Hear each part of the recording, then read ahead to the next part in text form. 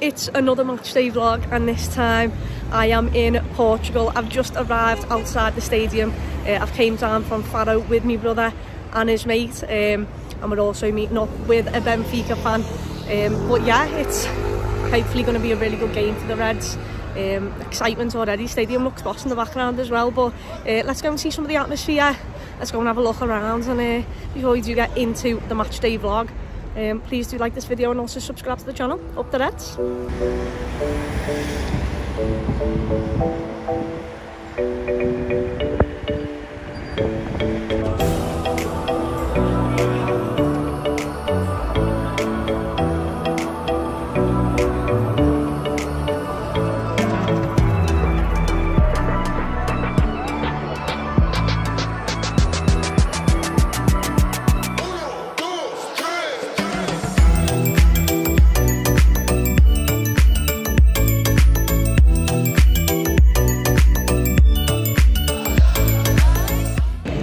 It into the stadium now. It's absolutely an incredible stadium. Uh, it's massive. I think it holds around 80,000, maybe more. Uh, it reminds me of the Emirates. It's absolutely boss. What a, what a place to uh, have, your, have your ground. What a place to play a game of football. Uh, I can't wait for it. Um, and I do something now.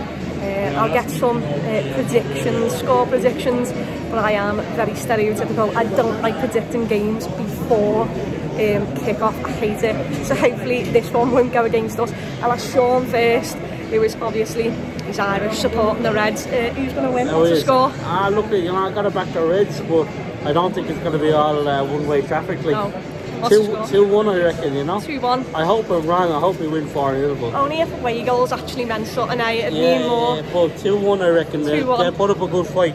2-1. You know. I'm going to go with 3-0 um, to Liverpool. I can't, can't have us not winning. Uh, I probably won't be speaking during the game because I'll be surrounded by a load of Portuguese fans. Um, but, you know, if we do score, I will have a bright smile on my face. Uh, bro, what are your score predictions for the game? Yeah, I reckon 3 0. I think first half they'll come out strong the first 10 minutes just with the atmosphere. And I think, to be honest, as soon as we get a goal, that'll Kill dampen it. them down. Yeah. yeah. And then they'll have to come out a bit more, even more so than when they with that first 10 minutes of the atmosphere. I think 2 0 half time, 1 0 second half, 3 0 overall. Three goal scorers.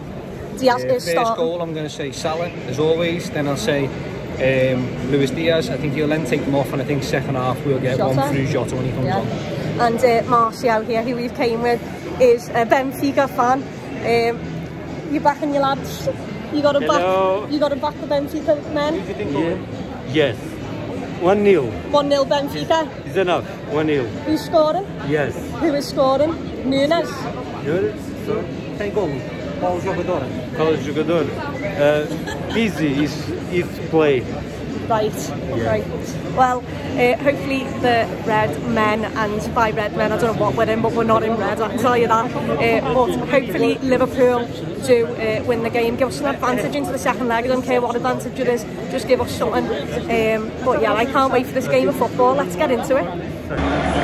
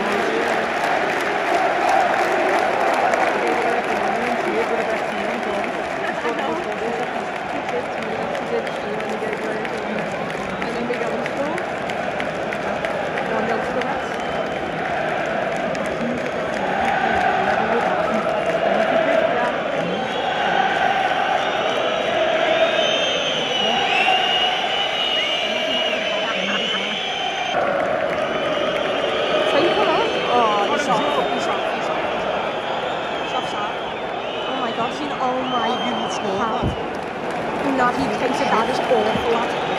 What the? That's fucking terrible. Oh my god, it's a ball.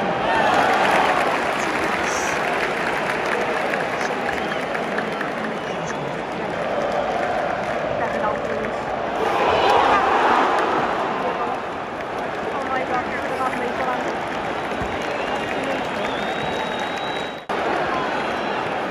Oh, what a goal that is. Oh, oh my god, it was, it was absolutely sensational. Trent Alexander-Arnold. I know, it's sensational. It's 2 0, and can I assure you, both of his fans are absolutely furious. That's an unbelievable goal.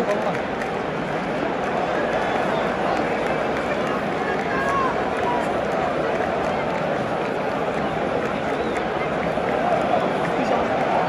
He's on side, behind the ball. Yeah. Nice one. Good lad.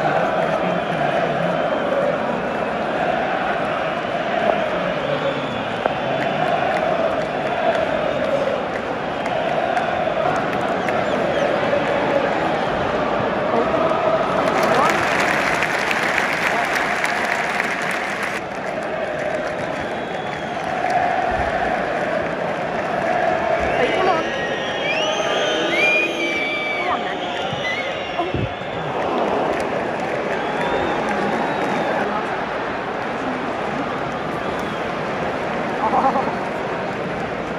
Oh oh my, oh my. You might have just witnessed the greatest ball. Oh my god, how have you missed? That ball is ridiculous.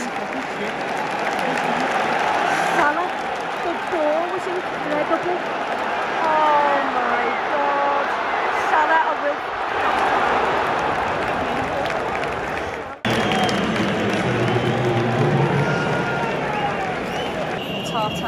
2-0 to the Reds, it probably should be 3 or 4. Salas missed an outrageous chance. Uh, Trent Alexander-Arnold's pass from off his side is absolutely incredible. Um, the course was a couple of problems on the counter, but aside from that, I mean, we're winning it in great positions. Um, these fans are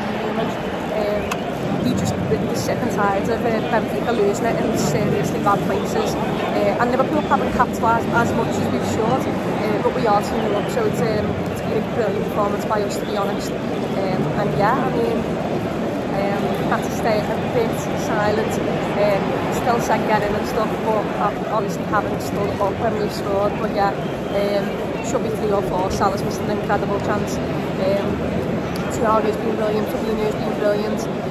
Um, and I think it's been alright to be honest. Robbo, I think Robbo is the, the place where we get targeted. He's uh, jumped in a couple too many times and we've got past him. Um, but, you know, it's been pretty much a perfect half and he is more of the same, really.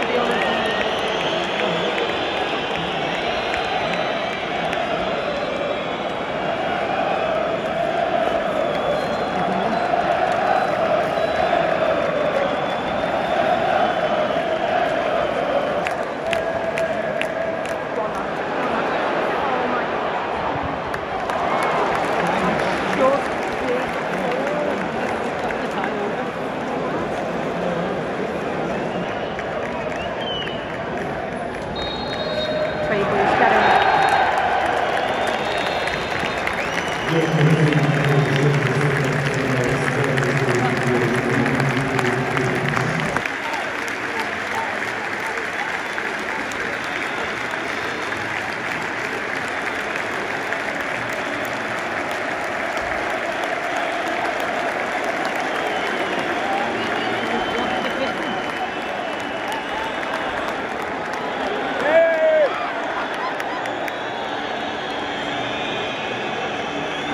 I've just got back from the game. It is past 3am in the morning. We had a long drive back down uh, to where we're staying.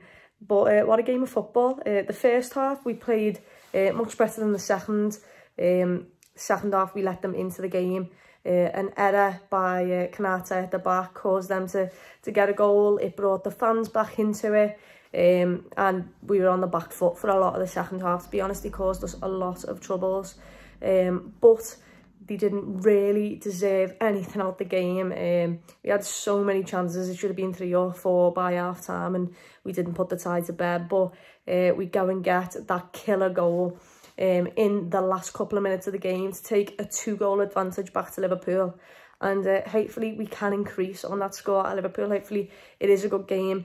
Um, the atmosphere was was fairly good in the ground. It was a great experience, a great um, a, great stadium to be fair. It was absolutely brilliant. I also said at the beginning that it was around 80,000. Someone told me a lie. It's 65,000. Uh, I went and searched it. Um, but yeah, a, a great stadium, great atmosphere, uh, and a great victory for the Redmen. Um, and now, obviously, onto a massive game in Manchester City on Sunday, which hopefully I'll have a match reaction for. Um, but I'll probably feel extremely ill with nerves, to be honest. So uh, let's see how that one goes on. Um, but what a time to be a Red. Uh, two of uh, the games in April now done. Uh, two wins. Hopefully the run continues. Till the next one, up the Reds.